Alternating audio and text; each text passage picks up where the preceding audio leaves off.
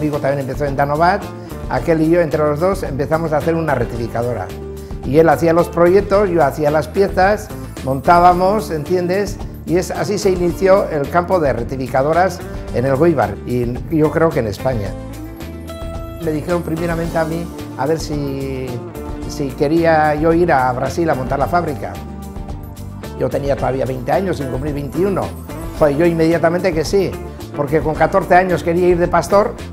Quisiéramos montar una empresa eh, con los mejores operarios del Goibar para hacer rectificadoras.